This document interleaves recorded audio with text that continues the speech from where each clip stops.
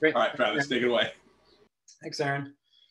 Yeah, as Aaron mentioned, uh, I am with Placetailor. We're a design build development company located in Roxbury. Uh, I'm the director of innovative design, also the in-house passive house consultant, and a newly uh, elected board member to the studio. Uh, today, we're being joined by Andres Bernal, a co-worker and colleague of mine at Placetailor. The, he's the director of architecture, uh, hails from MIT and worked at various firms uh, throughout Boston, uh, including Rohde, uh, and joined us about three years ago to kind of help launch our fully merged uh, architecture team at Placetailor, um, and is actually one of the project leads for this heavy heavy timber project that we're involved with. And then also Patrick Larkham uh, from Haycon, he's a project manager there. Uh, he joined the team of with Haycon about 2020. Uh, his experience is in mechanical engineering as well as uh, business management. Uh, so he has a diverse background that he brings to Haycon uh, with experience in the aircraft industry as well as the Department of Defense.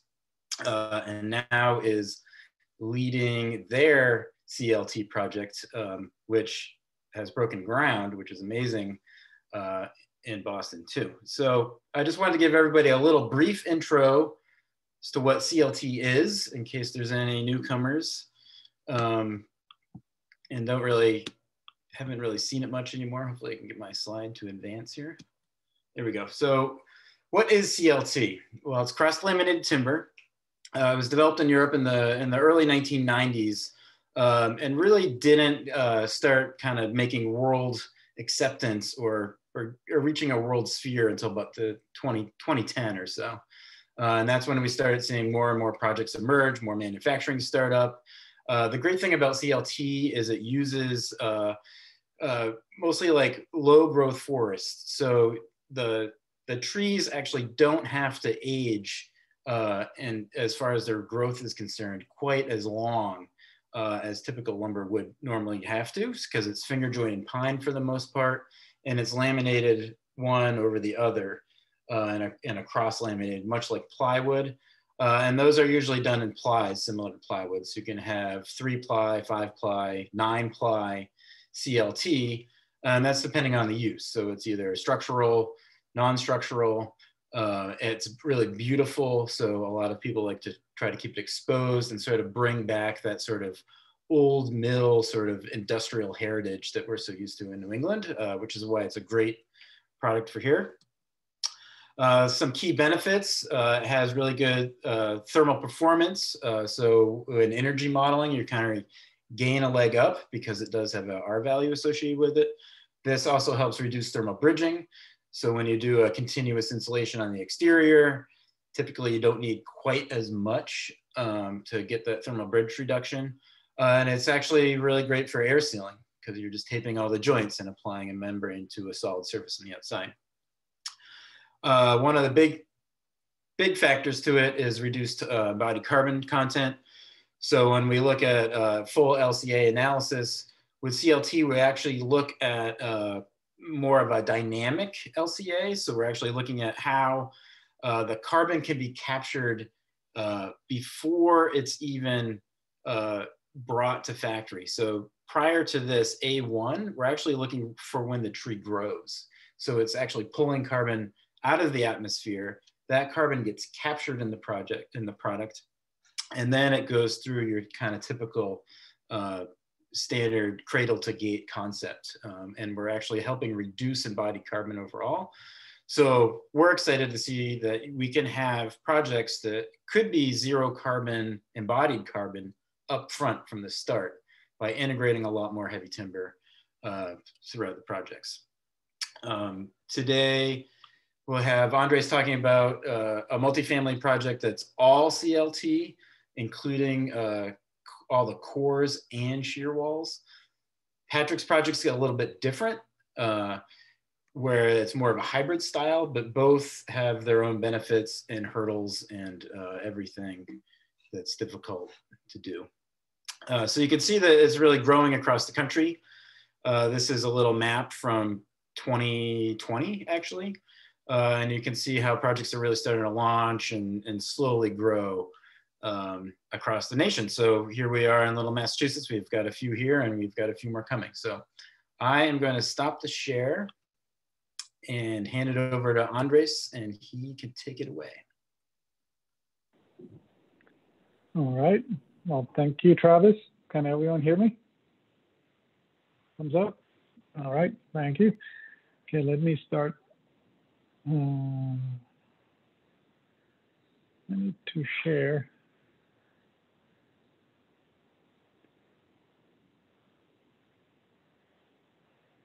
Do I need to be given uh, access to share? Uh, you should be able to. Oh, yep, I see it now. Okay.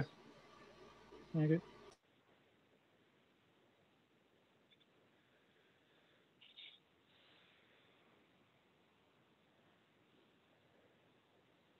All right. Oh, that's got the wrong date.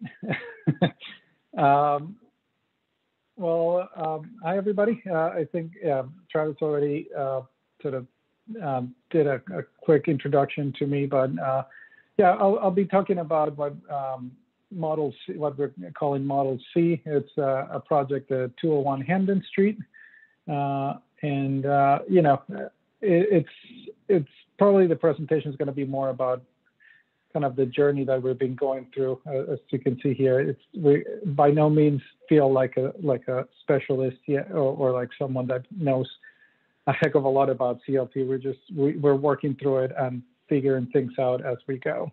So I'm going to start by giving you a little bit of a sort of introduction and history to the project. Well, introduction to Placetailor, it's a little bit of uh, history of the project, and then talk about uh, the, the things that we've been doing to, uh, with the project. Um, well, I think I can probably move through these slides already, but you know, we are Placetailor, we're an urban design uh, build construct uh, company, and we're sort of focused from very early on in with uh, you know as a company that would be sort of pushing the envelope uh, in terms of, of carbon. We've also been um, uh, we've been submitting to the 2030, AIA 2030, and we're amongst this, you know, a group of about 15 or 16 firms that have been able to meet those goals. So, so we're really proud of that, and we're, we're hoping that you know 201 Hampden is going to be, of course, one of the, the uh, one other project that is going to be within sort of this realm. All right. So let's just go to um, to the meat of, of, of the project. Yeah, this is 201. It's this is the site right now. It's 201 Hampden. It's uh, uh, close to Dudley Dudley Square. Um, you know, or actually Nubian Square. Um, so so it's a pretty pretty it's a tight site.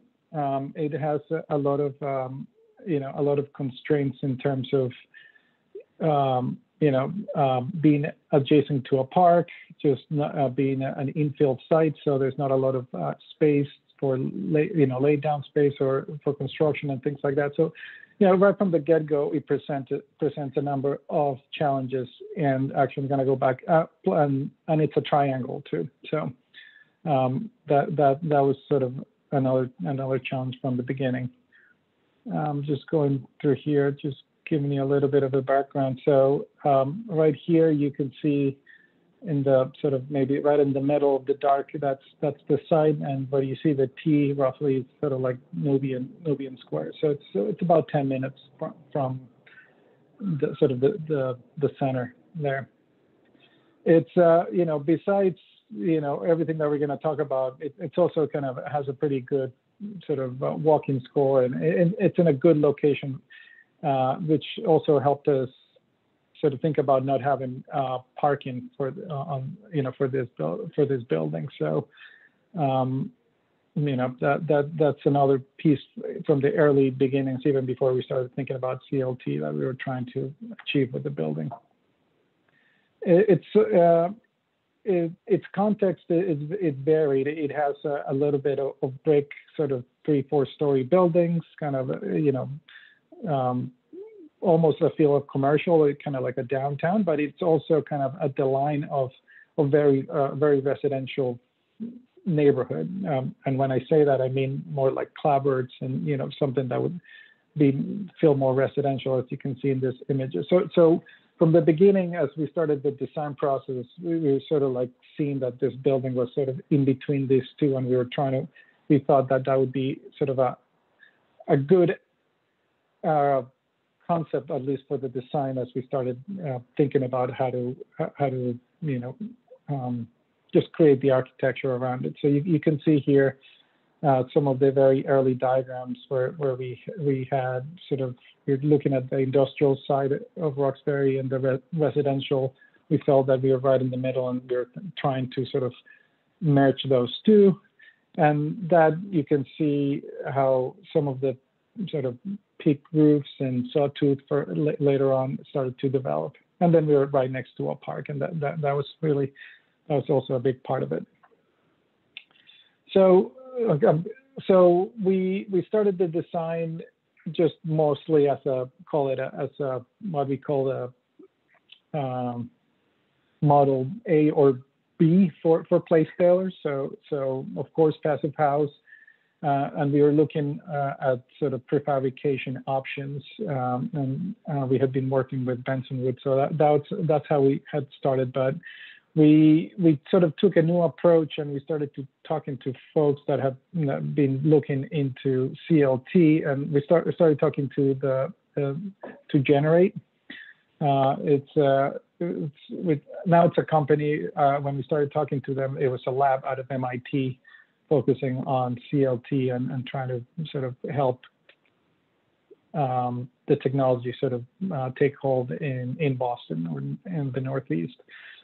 So, so they have done the research. They had sort of talked to some folks that have already built it. So, so they uh, they approached us and and sort of suggested, well, why don't you guys try it out? And of course, uh, you know, for us, uh, um, you know, so being kind of an R&D shop, we said, well, let, why not? Let's try it. Um, you know, it, it, took some convincing. Uh, I, I, was part of the ones that he, folks that needed to be convinced. but um, so, but but we, we, we got there, and, and we got there for for uh, for mostly because you know I think this slide is a, it's a good one. Sorry, I'm having a hard time seeing my slides here. Uh, but um, and I, I, think Travis would be better at describing this slide, but but uh, it's you know if you if look at the sort of the, the typical construction types, and we look at um, you know the, the global warming potential for mass timber, you know you, you can see the graph very you know clearly that that yeah, a full CLT building um, you know just offers uh, you know it, it just it does a lot better than all the other building types. Um, so this was uh, kind of this was very interesting to us, um, and uh, um, and in particular the idea of of pushing pushing all the way and trying to make it um, a full CLT building. Uh, now, when I say full full CLT, I mean that the cores would be um, out of CLT, and so elevator core and, and stair cores would be CLT.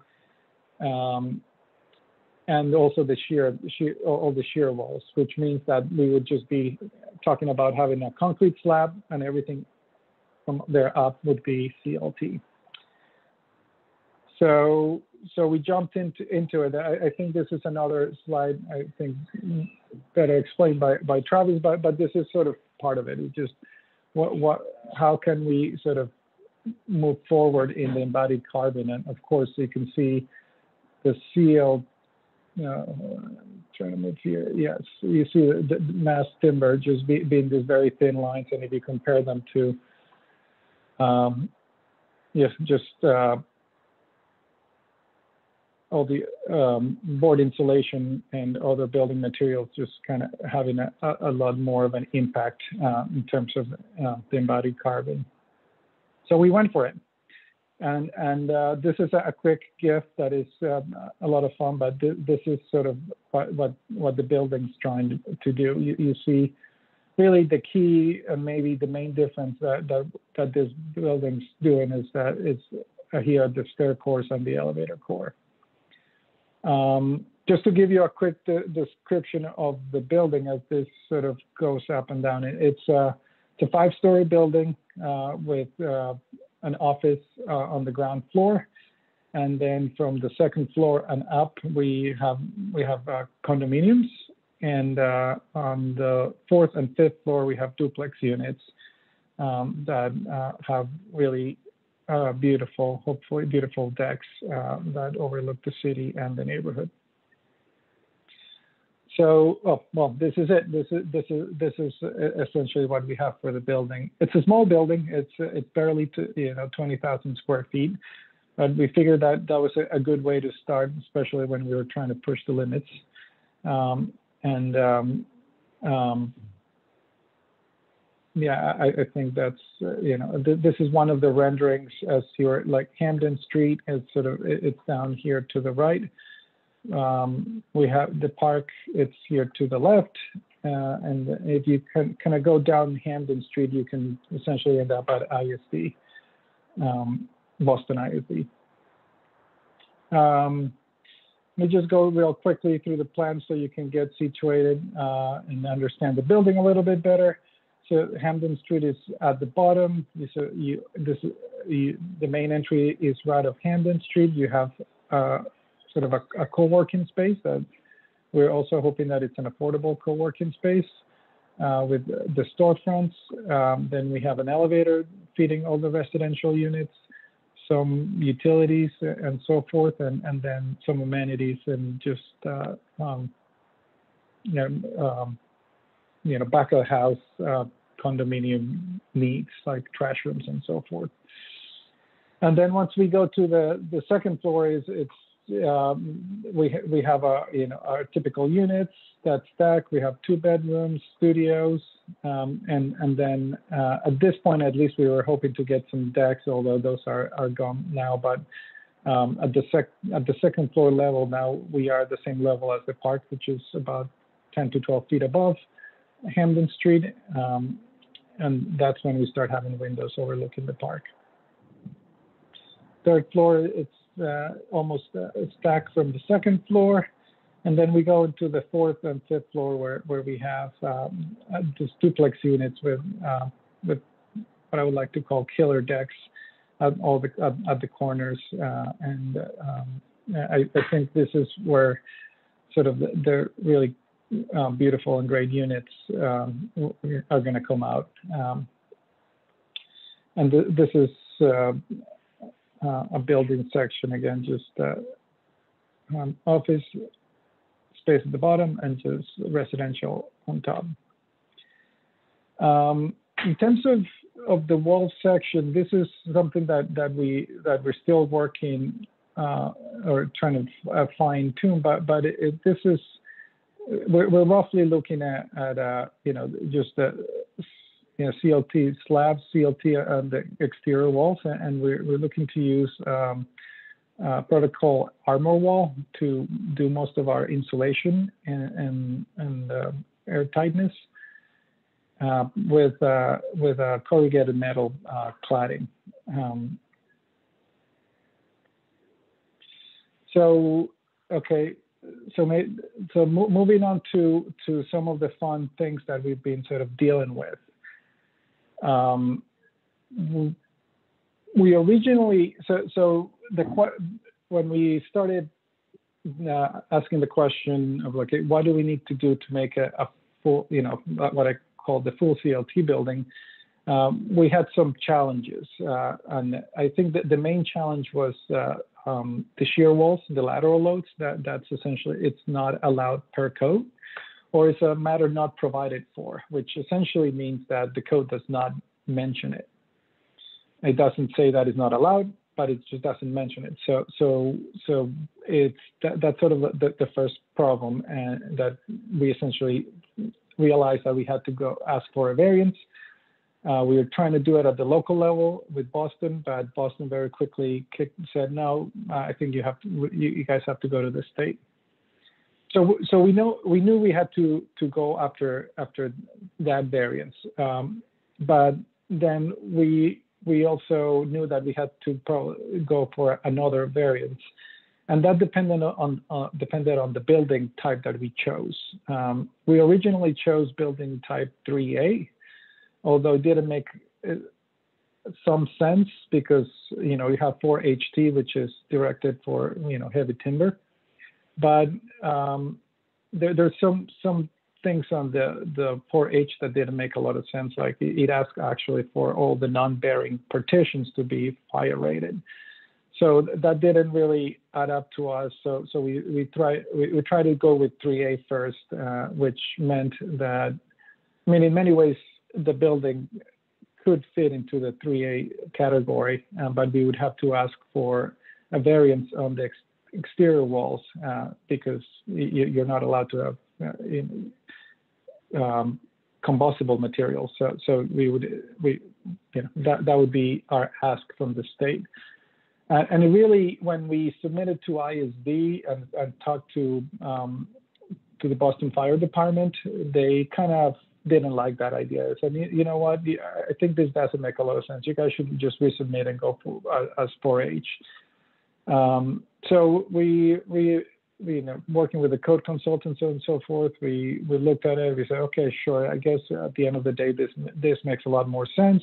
But we still had to go for another variance. So, uh, and in this case, would be concealed spaces. So you're not allowed to have concealed spaces.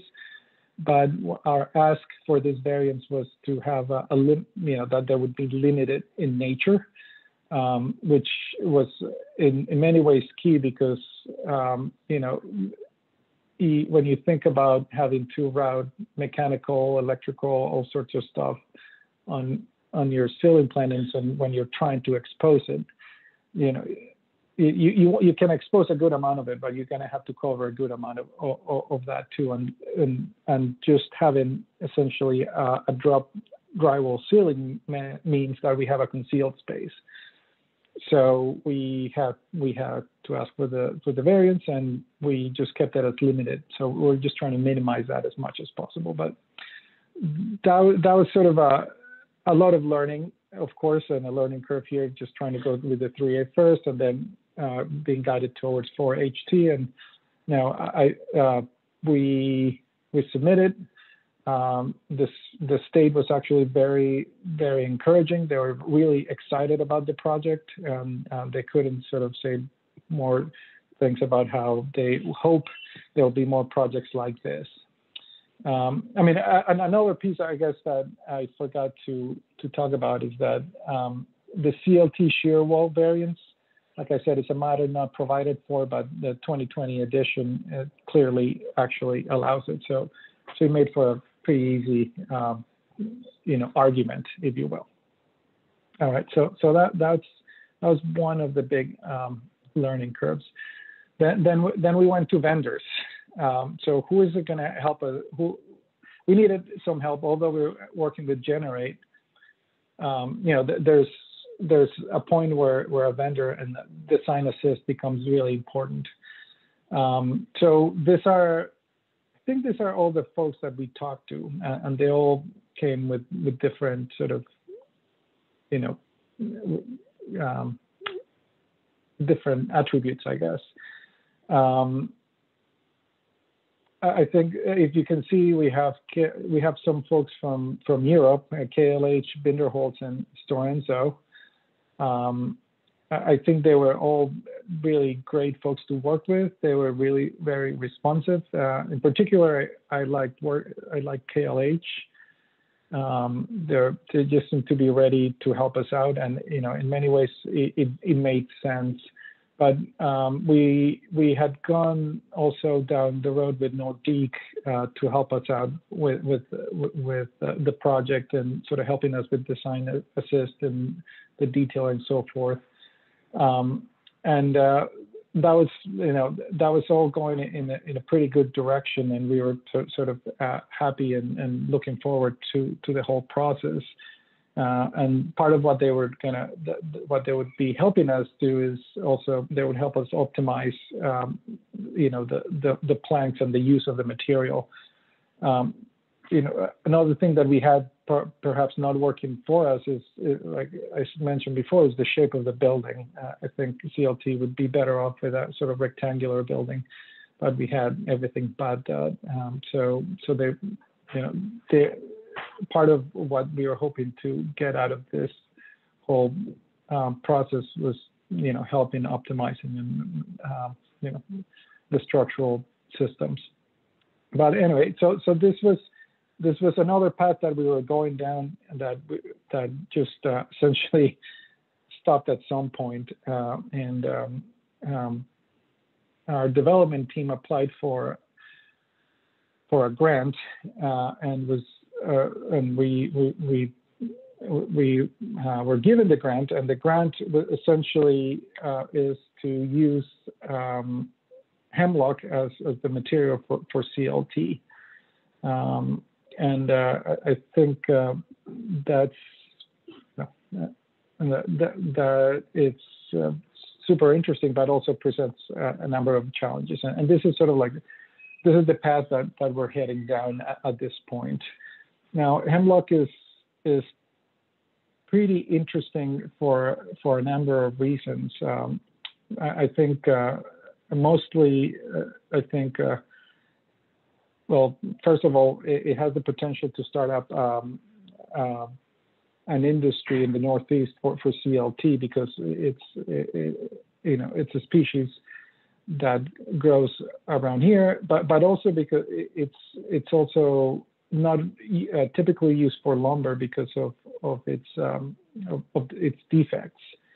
So so there is a potential there, and then and then there's there's a, a sort of a, it couples with another, so not more of an issue that um, hemlock's been having with with a uh, with an insect that is essentially you know killing the tree, but actually not damaging the lumber. So so there there is there, there's apparently there's a good amount of, of, this material that that that could be used and it could uh, potentially spark up uh, an, an, industry. So um, as it as it currently stands with our project, we we are we're going down this path. Oh, what's the next slide? Okay, I think that's all I have. Uh, and and then we're going to be partnering up back to our to our vendors. We're going to be we're going to end up partnering up with SmartLam. Uh, and that's because it's it's meant to be sort of a U.S. Um, vendor that is going to be um, helping us with all with the testing because we, we have to be testing this this product and and then also the milling of the product uh, and then delivery and so forth. So so this is where we stand right now. Uh, but uh, I I feel like at, this point there is no more big questions. Uh, actually, I think um, the SmartLam uh, partnership is almost settled. So it's, you know, there's, there's no more questions. So now we just need to sort of put our heads down and fi finish the, the, project off. And um, our structural engineers are, are ready to go and so forth. So I guess that, that's that's a brief story uh, of of all the sort of trials and tribulations of hands and uh, and where we are. And you know, th- that's you know, here's just a, some of the renderings, uh, some of the sort of architectural expressions that we're trying to work with, and um, another view uh, of uh, some of those duplex units that you, you I showed you in the floor plans. Uh, oh, that's Travis Anderson, but thank you very much. Uh, and I'm gonna be passing it on to Patrick now.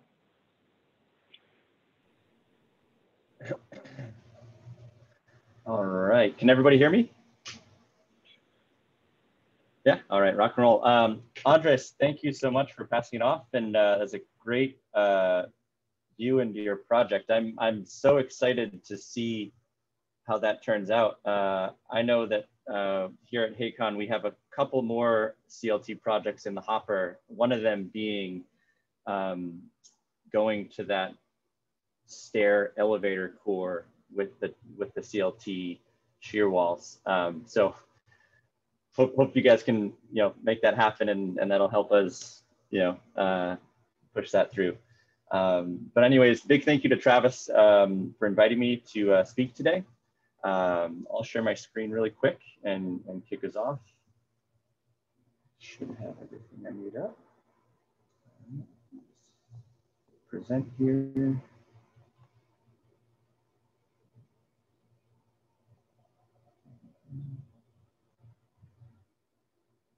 Um,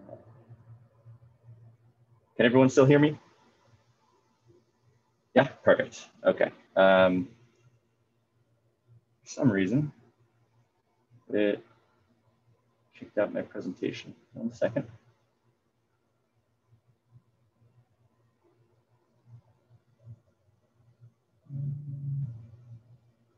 All right, can you guys see my presentation? No, we, reason I can't saw get- it when you brought up the screen the first time, and it disappeared when you hit present. Okay, so you guys can see my screen now. Uh, yeah, we see your desktop. Yeah. Okay, I tried to hit present. Let me see. Maybe I gotta go through a different mode here. Um, for some reason, I'm, uh, I guess uh, I'm in a, a browser version of PowerPoint. I apologize. So it looks like it, I might have to present here. Can you guys see the, the slide Yeah. well enough? yeah. Okay, you'll, you'll get, you'll have a nice preview of what's coming up. Um, so, uh, all right, 11 East Lenox. That is our project here at HayCon. Um, so my name is Patrick Larkham. I'm, as, as um, Travis mentioned, I'm a project manager here. I started with the company uh, last summer. Literally this time last summer, I was on site um, doing a bit of both, bit of, bit of field engineering, bit of site supervision, and just solving problems, kind of getting into into the company and, and into you know this high performance building world and and ultimately what we're headed towards like Placetailor is the passive house um, realm and, and passive building and and going for passive house certification for um, this project 11 east lenox and all of our future projects so we're really excited for that uh, i will say just like andrew sort of um, up front i'm by no means a specialist but hopefully I can share what I've learned along the way and what we continue to learn as we go. Uh, I will point to all of our partners um, that you hear, see here on the slide and all the hard work that they've done to kind of get us to this point. Um, HayCon is the GC, uh, so we're, we're sort of responsible for uh, building the project. Um, we do a lot of design build work ourselves, uh, but it's, it's with big um, sort of partnership and collaboration with Monte French Design Studios. They're the architects. Uh, and the many other partners here, especially H&O, uh, Hayes O'Neill. Uh, they're the engineering team, the structural engineering team that we've been working with here. And they're sort of, I, I, I believe, uh, they've sort of introduced this idea of possibility uh, of 11 East Lenox as a CLT uh, passive house project um, on the CLT side anyways. Uh, and then Passive to Positive uh, is a consulting firm for passive house building that we are working with. Um, and you know, as as Anders mentioned, with the different options for CLT, uh, we are going with Nordic Nordic structures. Um, it's been uh, a great partnership. Uh, I've actually gotten to work with them probably since last winter, uh, and we're now to the point where we've uh, we're just ready to receive our um, submittal package for the whole CLT uh, design. Uh, so everything from all the CLT panels for each floor, the glulam beams, the, the columns, um, and everything. So we're excited to kind of get our hands on that, dig into it, see if, see if everything, is going to come together. Um, Northeast Earthworks, our excavator, Boston Real Estate Collaborative is our uh, owner developer. Um, and then, you know, uh, in terms of variances and, and bringing CLT to market, I know uh, working on uh, the different variances for fire protection um, and others is sort of one of the big challenges. And so Code Red, uh, our consultants that we've been working with um, on that side of things. So uh, let's dive into it. Of course, you can follow us on social media, Facebook, uh, Twitter, Instagram. But uh, here's a quick overview of the project and uh, a nice rendering. You can see the CLT uh, uh, ceiling panels basically in, in the exterior of each unit uh, from the street here. But about the project, it's uh, multifamily. Um, Passive House, we're going for our PHIUS certification, currently working through um, pre-certification, uh, making good strides there. Uh, it's about 37,000 square feet, uh, 34 units, and we do have some parking. It's a, a tight site as well, since it's right, um, right in sort of the lower Roxbury area. Uh, it's a couple blocks from Boston Medical Center. It's, it's Lenox Street is right off of Washington Street. Um, so probably a, a, what I, I, don't know, maybe three to six blocks from Hampden Street. Uh, I'm familiar with it because I started at another project that we have going on in Nubian Square. So as I'm working on that future project, I'm going to be looking for the Placetailor, place Taylor, and uh, I'll see there. Um, so we're, we're right in that Boston neighborhood as well. Um, but we'll have eight spaces um, in the uh, on the first floor. So there'll be no basement in this uh, in this building, but you can kind of see um, a mural uh, here on the ground floor with the garage door. Uh, so cars will exit from here. There'll be eight spaces in here. Uh, a little amenity space, a co-working space uh, in the front here. back of house area will have sort of a trash room for the buildings in the area. Um, this is one building of, I believe, two others that our developers own on this plot of land. Um, and so it's a, it's a really cool project. Um, you know, in, in, terms of Boston, it's, it's, uh, it's residential. So, you know, all apartments, all rentals, uh, we will have uh, a certain number of um, units uh, at lower cost, uh, affordable housing. Um, and what else we got? Uh, in terms of, you know, the CLT specific items, uh, you know, around 14 million for the project cost, timber cost, around 2 million.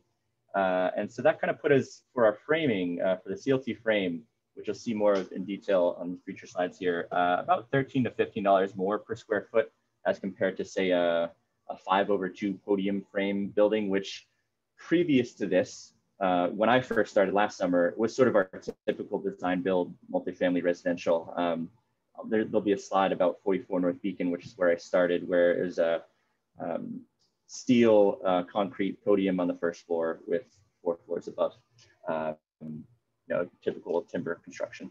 Um, so uh, Nordic is the manufacturer and they're partnering with Airgall uh, to construct the building. Um, they're a shop out of Connecticut.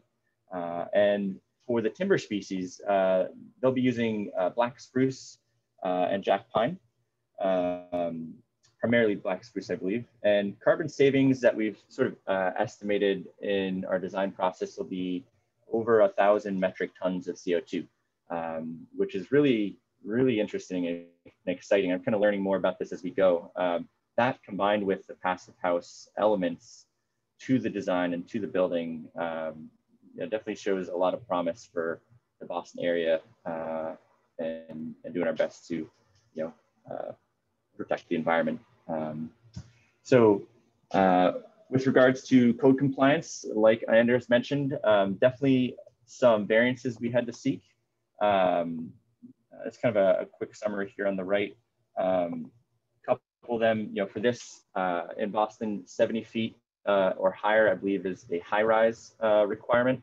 So to stay under the high rise level, uh, we kept it just under 70 feet um, and and we're able to fit sort of seven floors under 70 feet. First floor is about eight to 10 feet, depending on what you're looking at, and then the floors above that are right around eight um, eight feet. Uh, so gets a bit tricky fitting everything into the building with regards to systems, which uh, I'll kind of get into uh, shortly. Um, definitely uh, some interesting things though with regards to uh, fire protection um, as a type 4 you know, heavy timber building, um, the engineers and uh, Nordic have, have, designed in a two inch char depth to the CLT, uh, which means, you know, the, the floor slab or the glulam beams and columns uh, will still be structurally sound, even if they burn up to two inches, um, which is really, really cool.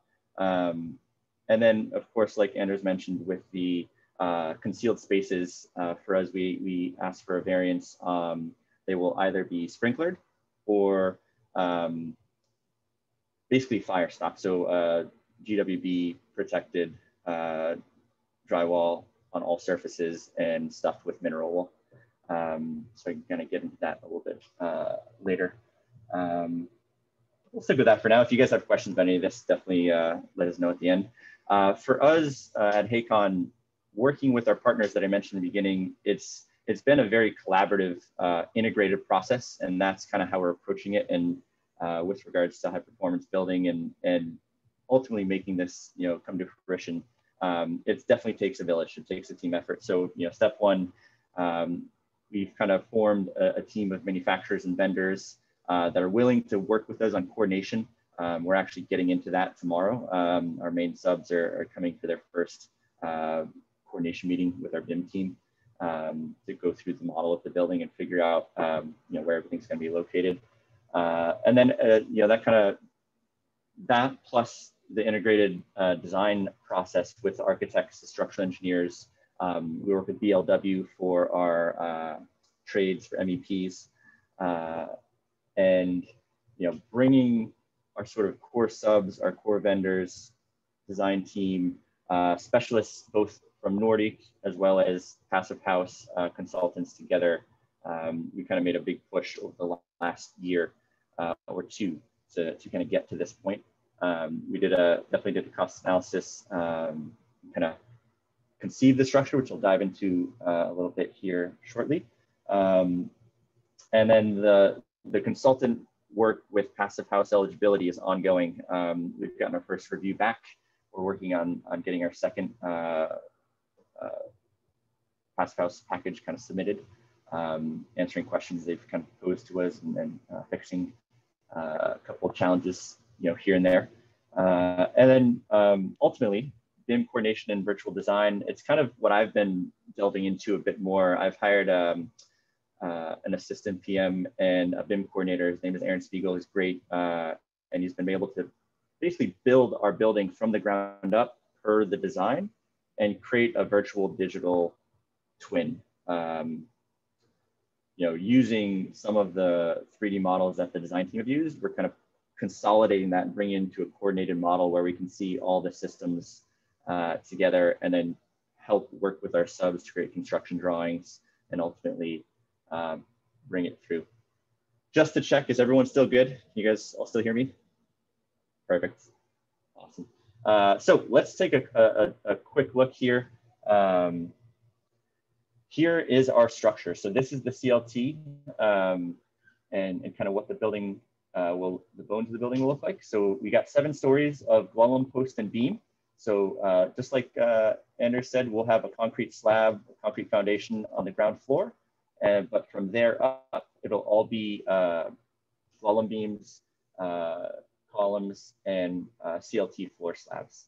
Um, the concrete is going to be cast in place, slab on grade, and foundations. Uh, we're on this project, we decided to use a new newer system. It's called ReadyCore. Uh, it's made by Volcraft. It's a uh, modular steel concrete form. So they basically designed these steel uh, boxes for the stair core and elevator core. They'll deliver them sort of almost floor by floor, but in mods.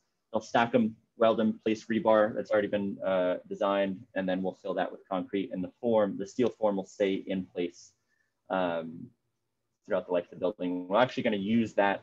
Uh, those steel forms will be uh, exposed in the main quarters. So it kind of will give it a, a nice industrial feel with um, exposed CLT in the units, as well as exposed beams in the hallways.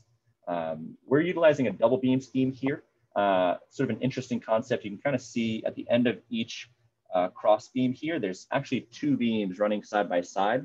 And that allows us to uh, find space for the trades in between. So we'll be running our trades and systems vertically through the building in almost quadrants through those double beams, uh, and then stuffing the cavities with mineral wool for fire protection. Um, so it's kind of a, a, a, really neat use of space. Um, in total, we only have 12 steel beams uh, and posts in, in this design. You can see them right here in the garage, basically two as you enter, a couple more um, inside. Uh, just essentially cross members to strengthen up the garage uh, on that first floor layer, but everything else ties right into both cores. Um, for structural uh, stability, which is pretty cool. Um, dive in a bit deeper, here's a, a, couple of sections of the different systems on each floor. So you can kind of see the CLT floor panels and the double beams and how we'll be fitting um, all the MEPs uh, in here. Uh, as I mentioned, you know, it definitely is taking a bit of integrate, uh, integrated and coordinated design.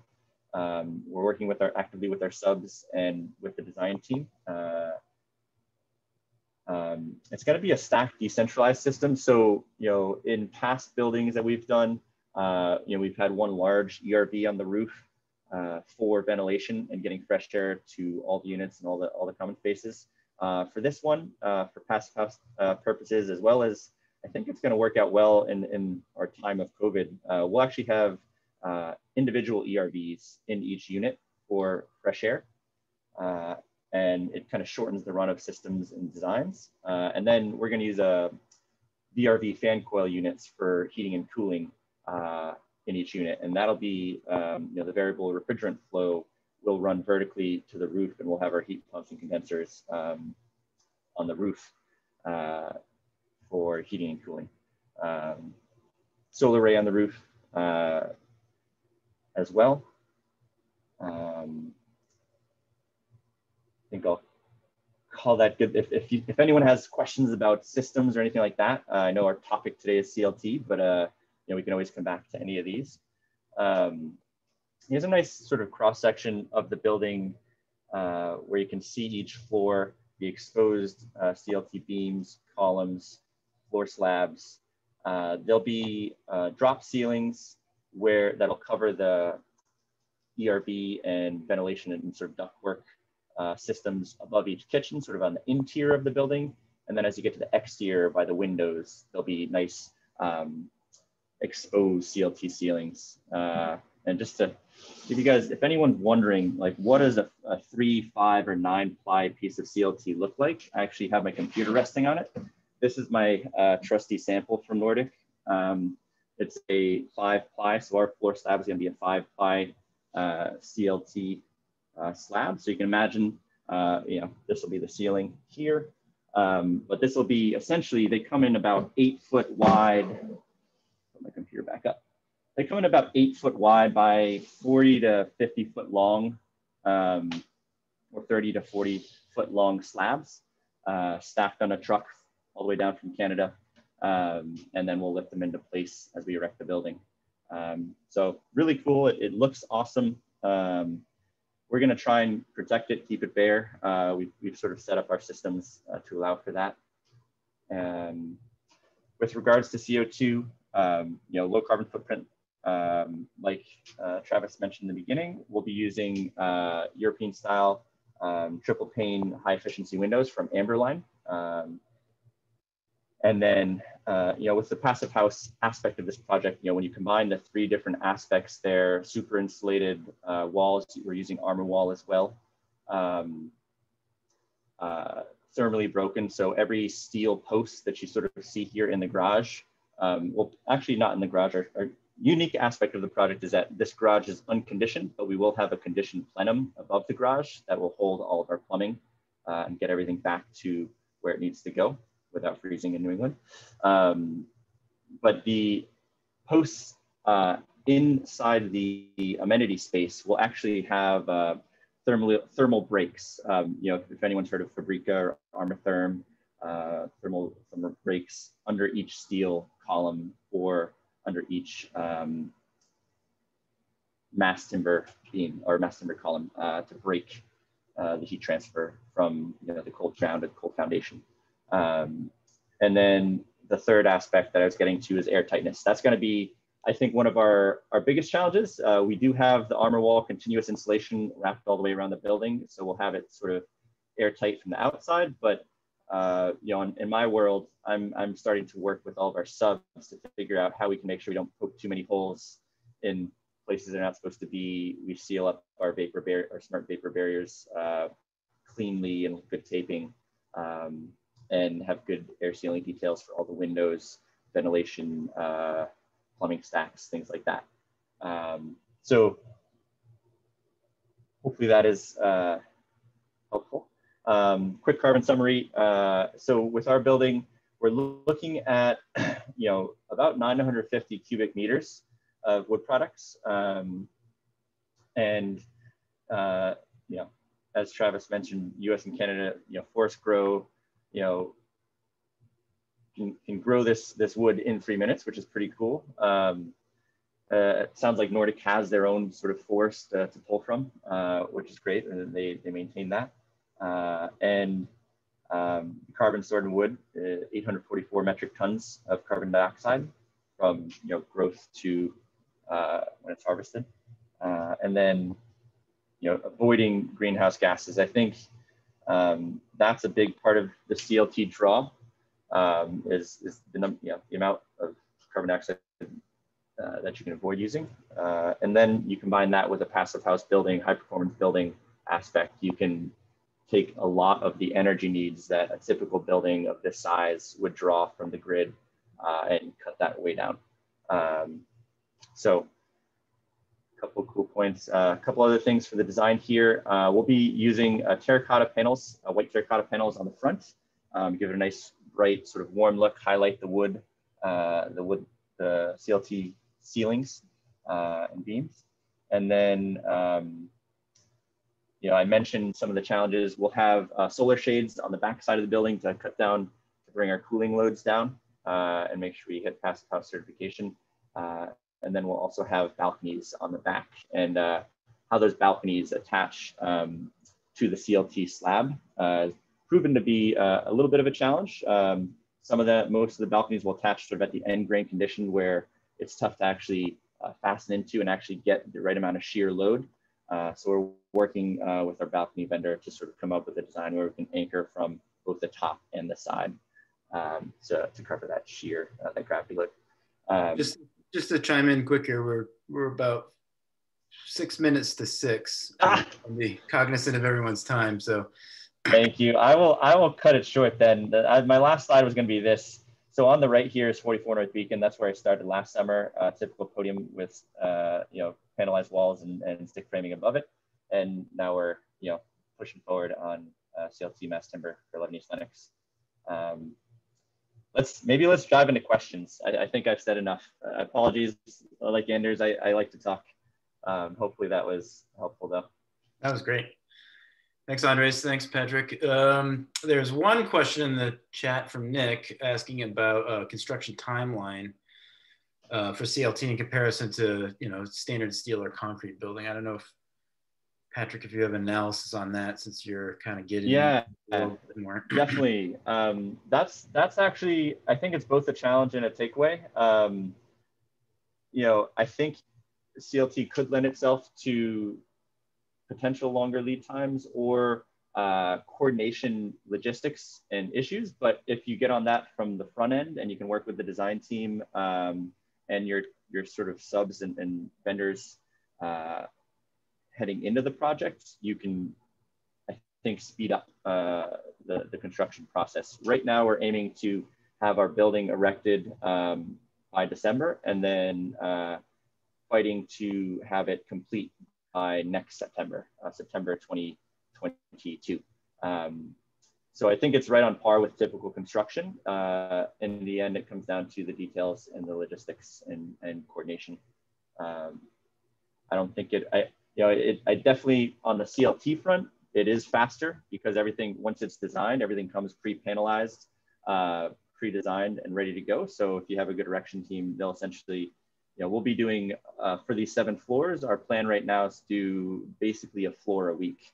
So, you know, a couple days to get up the columns, a couple days to get the beams, uh, and then picking the each floor slab and placing them um, sort of from one end of the building to the other. Uh, plywood splines, waterproof membrane to, to protect it. Um, that's, that's what we have on the schedule at the moment. That's what we're fighting for. Uh, I can let you know how it goes uh, definitely follow follow us on, on LinkedIn and social. You'll you'll you'll see us as we go. Cool. Um, another uh, Patrick. Also curious about your wall section that you're you're proposing for that, um, since it's an yeah. infill, which is slightly different than the Placetailor version where it's all CLT. yeah, definitely. Let's see if this has a decent view of it. Um, apologize, I don't have uh, any of the wall details on this on this slide deck. I think this is probably going to be the best for us. Um, from the outside in here, it'll be a cladding, you know, rain screen cladding uh, fixed to uh, two and three quarter inches of armor wall, which is basically a half inch of magnesium board plywood, and then uh, two inches and change of uh, you know, solid insulation. Um, that provides a structure for the rain screen, and that gets affixed right to uh, stick frame. We're gonna uh, just do standard FRT stick frame exterior walls. They're non-load bearing, so they'll be attached to deflection tracks um, at each floor because with the CLT mass timber building, it'll flex and grow kind of with the seasons and temperature changes and things like that. Um, and in, in the stick frame walls, we'll have uh, mineral wool, uh, rock wool, um, and then uh, smart vapor barrier um, to allow for vapor, uh, appropriate vapor transfer, uh, and then drywall. Great. Any other questions that anyone wants to put in the chat? I saw a few people kind of come in late to the presentation. Um, we did move the time, so hopefully everybody caught that, so apologies there. Uh, Nick is asking about carpentry unions on these projects, um, with the bulk of carpentry and labor occurring off-site. Uh, that's something that, you know, we talk about quite a bit too, is, you know, working with the labor unions as these projects go up in scale, the interest from them, any pushback people are experiencing or not. Definitely, we we uh, we went through a case study analysis on that, um, and we were able to work with uh, the Carpenters Union to get some um, concessions or some, some, market opportunity funds uh, to make it competitive. And so we actually, Airgall is a union shop from Connecticut. They'll be uh, erecting the structure and our exterior walls. Um, Nordic has, you know, does the manufacturing of the the slabs up in Canada and then ships it down. So, you know, there's that. Um, but we were able to bring the, the Carpenters Union in for erection here, as well as uh, we're using Marguerite uh, concrete for our foundation work as well. Um, yeah, it's going to be really yeah. how this all this shakes out um, moving forward. And kind of the idea with this, this would turn into more of a series. So this could be my thinking was this would be a sort of like the first round and we could watch these projects uh, develop and kind of check back in with them periodically throughout their process because um, I know it's you know it's of interest of a lot of people here in Boston and around the region.